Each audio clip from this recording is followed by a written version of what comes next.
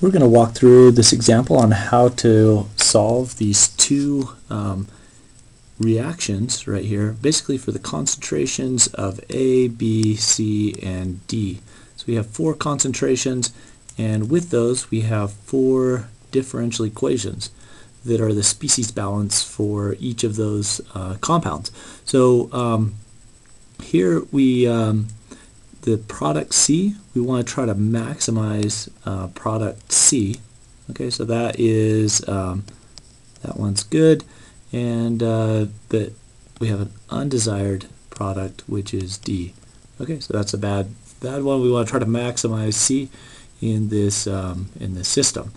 Okay, so we have um, initial concentrations um, that are given right here. We need initial conditions for this uh, problem and then also some of our constants K1 and K2.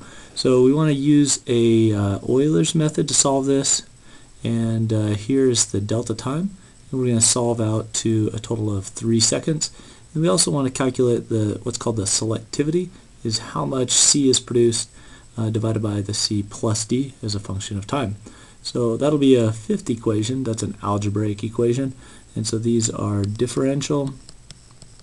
Um, and sometimes we have um, algebraic equations as well that we want to solve. But we can solve this one after we solve uh, the differential equations.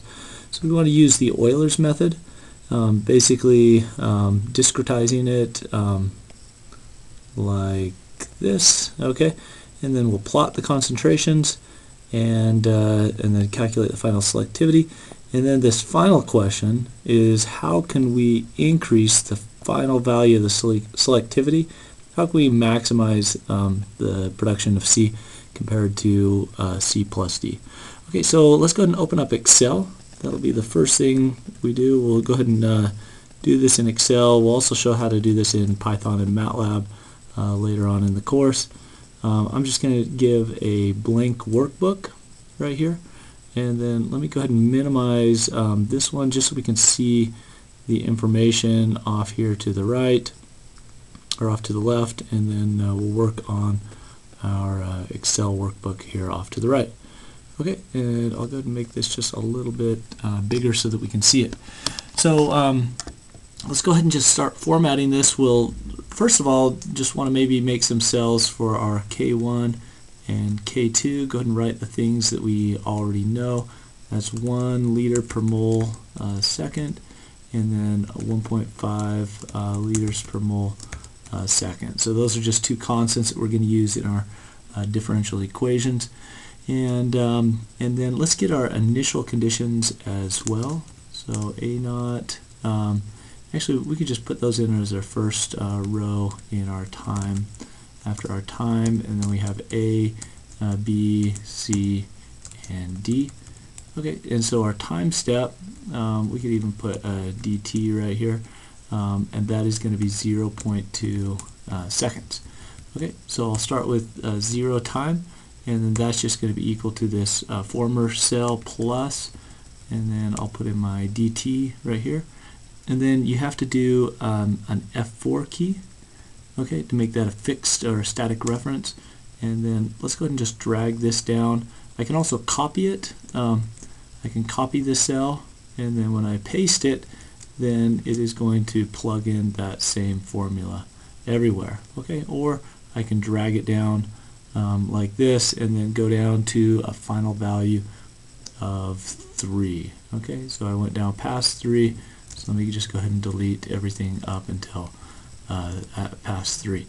Okay, so we have uh, 0 to 3, and then I have my A, B, uh, C, and D. So let's go ahead and just um, you know, derive this Euler's method first for these equations. We're going to use an explicit Euler's method as is shown in part A of this. Um, so if we do that, we take um, this term right over here, Okay, I'll make this a little bit bigger. Okay, we take uh, this equation right here and we do a um, i plus 1 minus ai. Okay, so this is kind of like uh, delta a over delta t and then that's going to be ti plus 1 minus ti. Okay, and then I'll plug in minus k uh, 1 times A um, I times B I. Okay, so I'll plug those in. I'm going to solve for A I plus 1, and so there is uh, the formula for that. So A I plus 1 equals negative K times A I B I times delta T uh, plus AI. Okay, so Euler's method, um, we're going to implement that in, um, in Excel for these different equations. Okay, so I'm going to plug in my initial conditions first. Okay, I'm going to make this a little bit smaller again, uh, just to be able to fit it all on the screen. And so uh, let's go ahead and plug in our initial conditions for these initial concentrations, A, B, C, and D. Okay, and then I'm going to go ahead and start writing my first differential equation, or uh, my first Euler's equ uh, method equation. Um, okay, so it's going to be negative. Let me go ahead and put this in parentheses. Negative and then K1. I'm going to make that a static reference by hitting F4. If you're on a Mac, hit Command T.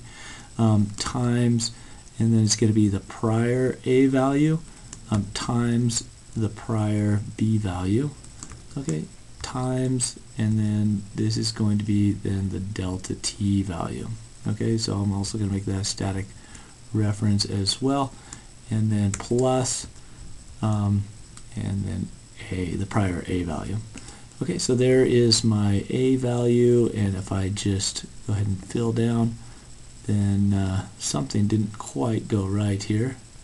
Okay, oh, because I don't have my b value there. Okay, so now I've got to do my, my b values as well. Okay, um, because that depends on uh, these values too. Okay, so um, let's go ahead and do that for b. I'm just going to follow the same um, kind of formula. Whatever's on the right-hand side of that equation. Okay, I'm going to multiply by delta t and then add the prior b value.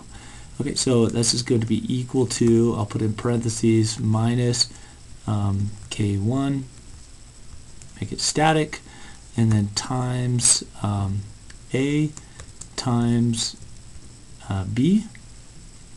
Okay, and then um, minus, and then I'll do my K2, make it static, um, times uh, B times C. Okay, so there's everything I needed on the right hand side of the equation and then I'll multiply by the delta t. Okay, and then add the prior b value as well.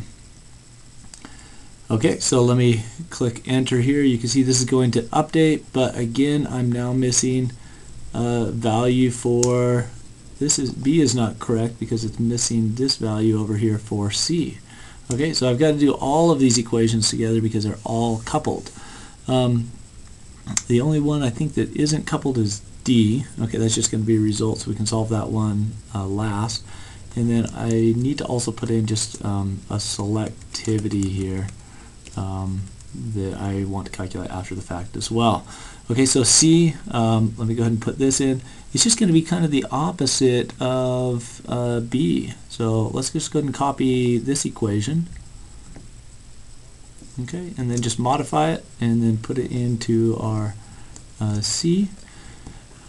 Okay, so I'm going to have a plus sign here and then a minus sign. Okay, yeah, minus sign here times delta t. Uh, I need to make one change. Uh, instead of C6, I need this to be uh, D6. Okay, and so there's there are my values of C.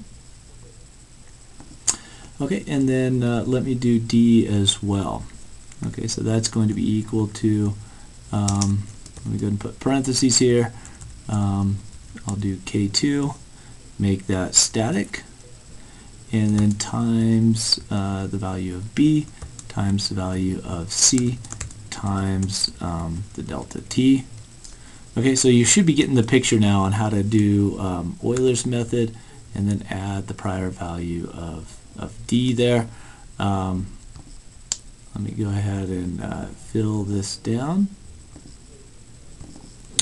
Okay, so there is there are the values of d and then the selectivity is just going to be equal to C divided by C uh, plus D. Now you're going to see uh, division by zero here. If you fill this down, you'll see numbers. Um, but go ahead and start with the 1 if you'd like to. Just replace that cell. Okay, so um, let's go ahead and just uh, mark this as as yellow. Okay, just go ahead and highlight it.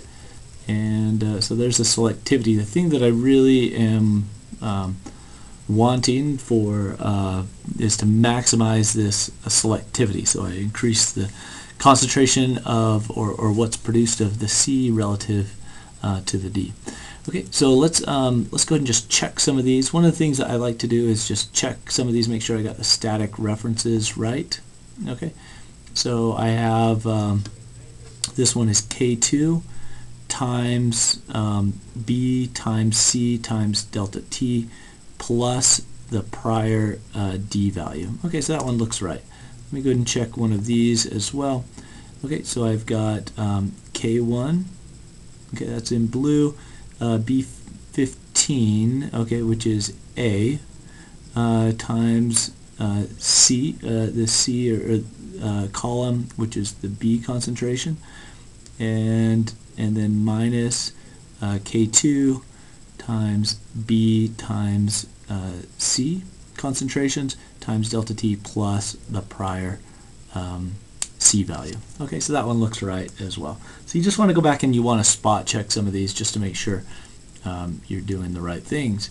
Okay, and then I can go ahead and plot um, the concentrations, for example. Make sure you remember the, if you hit the shift and control and then the right key, then it'll select over. If I remove the control key and then hit back one, and then hold down the control key again and hit the down arrow, I can select this whole region uh, very easily without using the mouse. Okay, that's important for big data sets that you'll see later.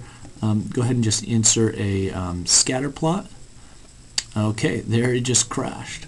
Um, and so my Excel just crashed. I'm just going to go ahead and end it right here. I think you can figure out um, the rest of it. And um, so just what, what do you do to maximize the value of the selectivity? Well, we can um, change the initial concentrations of A and B and then that will, um, we could use solver for example, trying to maximize that last value of uh, the selectivity for example. Okay, so uh, go ahead and try that with the solver. So just to review, this is um, Euler's method. Um, and uh, it's not very accurate, but it's a good way to just get an approximation of these differential equations in Excel. Um, we solve these four equations right here as well as this uh, selectivity um, and um, you, you can also change the, uh, the delta t value. Um, you typically want to change that until you don't see the solution change anymore so that we've got the right kind of time step so that we control um, the accuracy. Um, but again, this is just an approximate method uh, using the Euler's, um, Euler's technique.